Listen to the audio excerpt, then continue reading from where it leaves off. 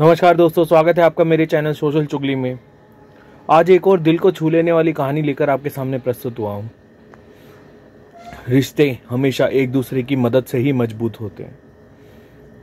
हमारा समाज क्या है? हम समाज में क्यों हैं? एक दूसरे की मदद करने के लिए, एक दूसरे को समझने के लिए, समाज में विभिन्न प्रकार के हमारे दोस्त, भाई, रिश्तेदार माता पिता सब मौजूद हैं। और हर कोई एक दूसरे की किसी न किसी रूप में मदद कर रहा है।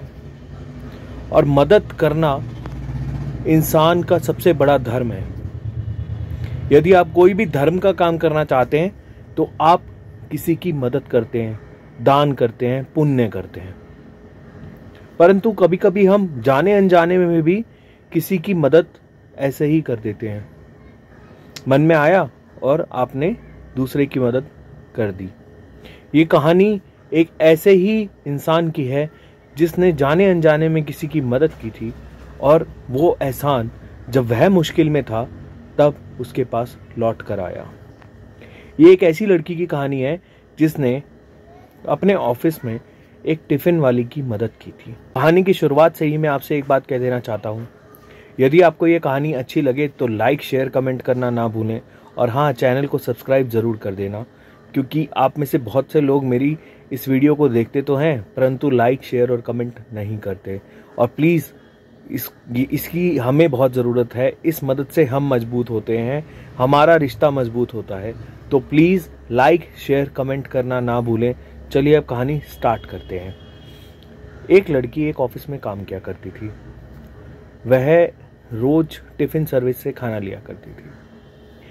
तो एक दिन वो टिफ़िन सर्विस वाली आंटी टिप, उसको टिफ़िन देने आती हैं तो वह उस आंटी को मना कर देती हैं कि, आंटी जी, अब आप मेरे लिए टिफ़िन मत लेकर आना।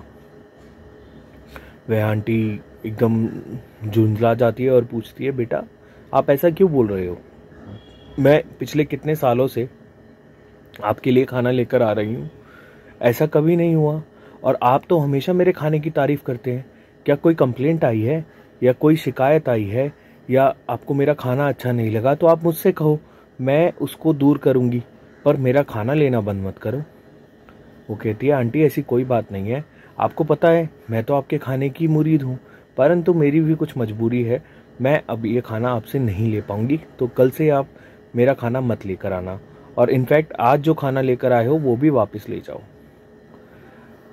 वह बहुत दुखी होती है और उससे पूछती है, बेटा, जब तक तुम मुझे कारण नहीं बताओगी, मैं ये खाना वापस नहीं लेकर जाऊँगी।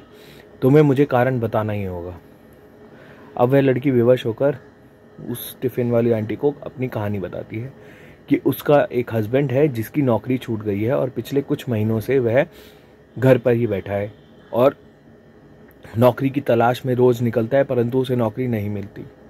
अब उनके खर्चे धीरे धीरे बढ़ रहे हैं, उनकी बच्चों की फ़ीस, उनका खाना, रहना, सहना तो वो पूरा बर्डन उस लड़की पे आ रहा है। तो वह छोटे छोटे खर्चों में कटौती कर कर और पैसा जोड़ने की सोच रही थी। तो उसे लगा, अगर मैं टिफ़िन लेना भी बंद कर दूँगी तो इसके भी कुछ पैसे मेरे रोज के बच जाएँगे। अब यह बात सुनकर टिफ़िन वाली आंटी सोचती है, बस, इतनी सी बात। अरे, मैम, आप तो वो हैं जिन्होंने जब मेरा टिफ़िन यहाँ मैंने स्टार्ट किया था, तब मेरे से कोई टिफ़िन नहीं लेता था, सिर्फ़ आप टिफ़िन लेती थी।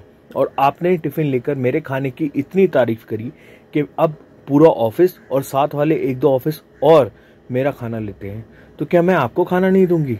आपको मैं रोज़ खाना दूँगी और आपसे पैसे भी नहीं लूँगी।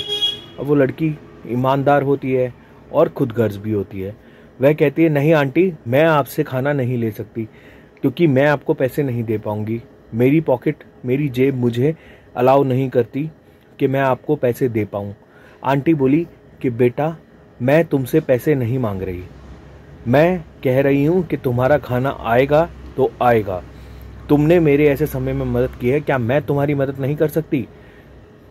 तो अब वो लड़की शर्मिंदा हो जाती है, कहती है, नहीं आंटी, मैं बिना पैसों के आपसे खाना नहीं लूँगी। आंटी बोलती है कि अभी आप मुझसे खाना ले लो।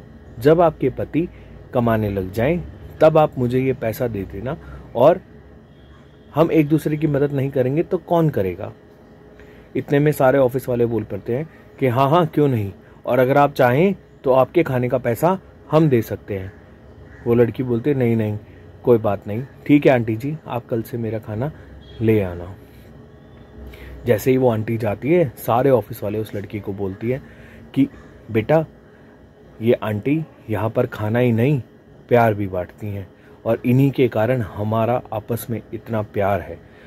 सो दोस्तों, इस कहानी से यह सीख मिलती है कि जितना आप एक दूसरे की मदद करेंगे, एक दूसरे की परेशानी में एक दूसरे के साथ खड़े होंगे, उतना आपका बॉन्ड मज़बूत होगा, उतना आपका रिश्ता मज़बूत होगा और रिश्तों की मजबूती से ही हम समाज में आगे बढ़ सकते हैं।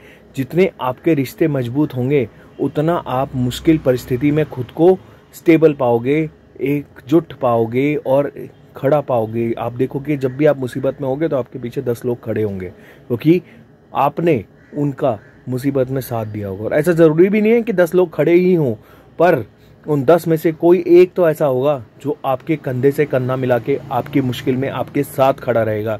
जैसे वो टिफ़िन वाली आंटी खड़ी रही और उसके बाद पूरे ऑफ़िस में हिम्मत आई कि वो सब भी उस लड़की का सपोर्ट देने के लिए एकजुट होकर खड़े रहे। तो एकजुटता में ही ताकत है दोस्तों। अगर ये वीडियो अच्छी लगी हो तो लाइक, शेयर, कमेंट करना ना भूलना और प्लीज़ मेरे चैनल को सब्सक्राइब करना। ये आपकी मेरी तरफ़ मदद का हाथ है और मुझे सपोर्ट करेंगे तो हमारा रिश्ता हमारा बॉन्ड मज़बूत होगा। मैं ऐसी ही प्रेरणादायक कहानियाँ रोज़ इस चैनल पर लेकर आता हूँ। रोज़ रात को 10 बजे मेरे चैनल पर एक वीडियो पोस्ट होती है और वो वीडियो प्रेरणादायक होती है दोस्तों। आप उस वीडियो को देखकर कुछ ना कुछ नया सीखेंगे ही। सो so, दोस्तों प्लीज़ प्लीज़ प्लीज़ चैनल को लाइक शेयर सब्सक्राइब करना ना भूलना। और हाँ अगर अच्छी लगे तो कमेंट ज़रूर करना। धन्यवाद।